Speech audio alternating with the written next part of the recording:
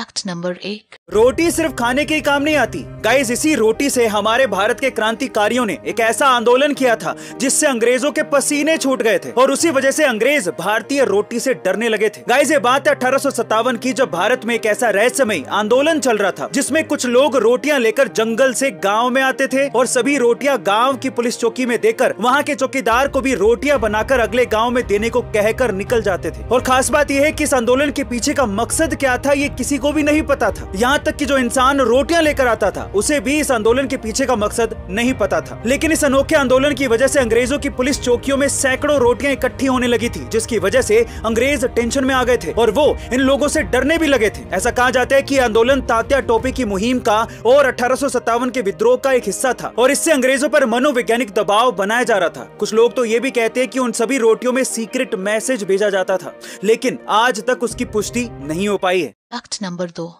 इस बार की भारतीय क्रिकेट टीम क्रिकेट इतिहास की सबसे बेहतरीन टीम है। मैं ऐसा क्यों कह रहा हूँ? चलिए जानते हैं। कल टेबल टॉपर्स भारत और साउथ अफ्रीका का मैच था। ऐसा लग रहा था कि इस मैच में कांटे की टक्कर होगी। लेकिन विजय रथ पर सवार भारतीय टीम ने साउथ अफ्रीका को 243 रनों से रोन दिया। इतिहास में पहली बार ऐसा हुआ की जब भारत किसी वर्ल्ड कप में लगातार आठ मैच जीती हो। और सोने पे सुहागा तब हुआ जब बर्थडे बॉय विराट कोहली ने अपने आइडियल सचिन तेंदुलकर के फोर्टी शतकों के रिकॉर्ड की बराबरी भी कर ली। और अब ये बात बिल्कुल तय हो गई है कि लीग मैचों में भारत ही टेबल टॉपर रहेगा। इस वर्ल्ड कप में अब तक किंग कोहली ने पाँच रन बनाए हैं। कप्तान रोहित शर्मा ने चार सौ बयालीस रन, श्रेयस अय्यर ने दो सौ तिरानवे रन, के राहुल ने दो सौ पैंतालीस रन और गिल ने दो सौ उन्नीस रन बनाए हैं। वहीं गेंदबाजों में मोहम्मद शामी ने 16 विकेट लिए हैं। बुम बुम बुमराह ने 15 विकेट, सर जडेजा ने 14 विकेट, कुलदीप ने 12 विकेट और मियाँ मैजिक सिराज ने 10 विकेट चटकाए हैं। गाइस, लगता है इस बार तीसरा वर्ल्ड कप आके रहेगा।